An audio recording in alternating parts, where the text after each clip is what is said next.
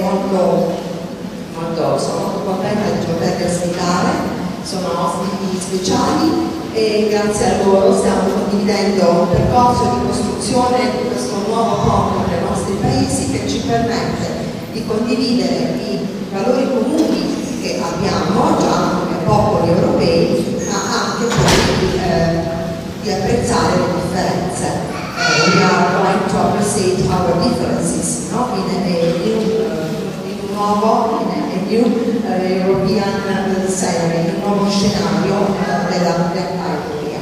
Ok, so let's go on with our students, adesso continuiamo con i nostri alunni and with the activities they prepared for today. Okay, thank you uh, very much for your welcoming. Good morning. Dzień dobry, buenos días, dobro utro.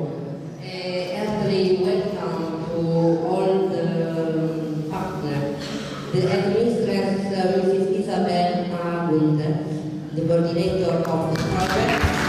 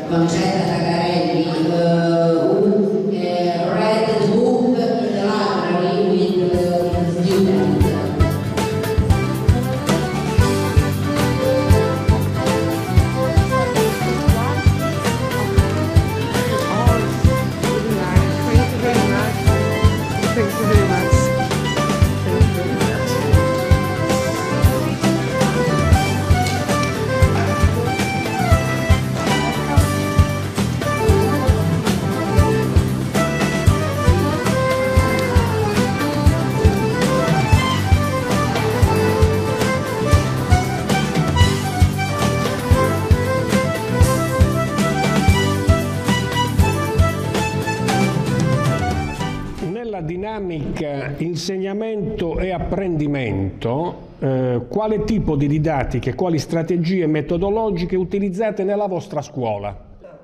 Nella nostra scuola ci sono due eh, tipi di studenti, scuola materna, scuola dell'infanzia e, e scuola elementare.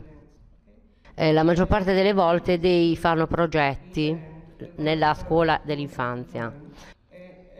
In, eh, I bambini della scuola elementare, nella maggior parte dei casi, dei, eh, fanno dei progetti in particolar modo, imparando diciamo, meglio con l'uso dei progetti. Per esempio il, il progetto europei, i progetti europei in cui sono coinvolte diverse scuole,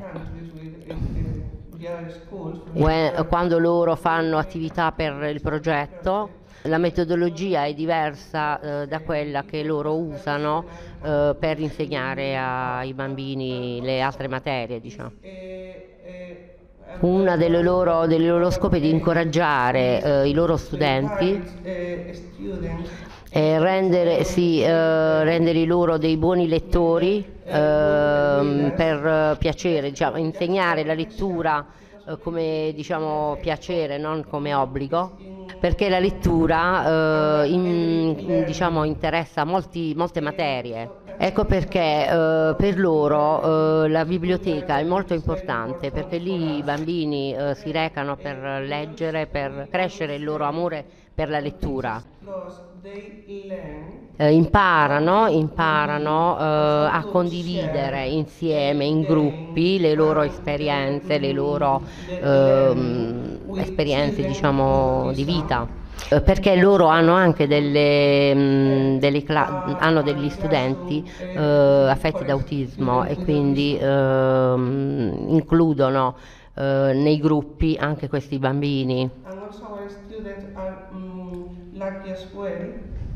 I loro studenti sono anche fortunati perché eh, loro mh, eh, desiderano che i loro studenti diventino dei buoni cittadini europei, sì. non solo cittadini della Spagna, ma anche cittadini d'Europa.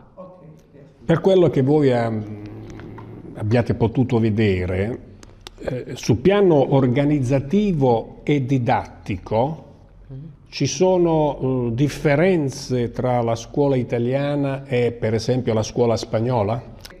È molto simile uh, nella maggior parte delle, della organizzazione. Per esempio una differenza è quella che l'insegnante spagnola, eh, la, la, la, direttrice insegna, anche insegna, mentre qui in Italia, nella nostra scuola, eh, è solo dirigente. Ah, loro hanno solo, uh, solo, studenti della scuola elementare, non secondaria. Il sistema diciamo, educativo è quasi simile, il modo in cui loro insegnano nelle scuole. Come siete stati accolti e cosa vi è piaciuto dell'Istituto Comprensivo Settani Manzoni? L'accoglienza è stata meravigliosa. Tutti i docenti ci hanno accolto in una maniera veramente affettuosa. Tutto lo staff scolastico eh, ci ha fatto sentire come se fossimo a casa. Anche gli, eh, gli studenti eh, sono stati veramente meravigliosi, eh, anche loro si sono, cioè, ci hanno accolti con un bel sorriso, erano contenti di, di vederci, di conoscerci. Siete capitati qui a Rutigliano in un periodo di grande festa che è la festa di Sant'Antonio Abate e la, la, fiera dei fischietti. Um, come avete trovato questa festa e che impressione vi ha fatto? Eh, è un, una festa um, molto creativa, eh, ci hanno colpito eh, tutte le varie forme, le varie forme, i colori eh, di tutti questi fischietti, anche eh, la nostra meraviglia perché eh, sono stati, la maggior parte, viene, veng, la maggior parte dei fischietti prepara viene preparata con le mani, infatti cioè, ricor- è bello diciamo, vedere che ancora questa, diciamo, l'artigiano artigiano no?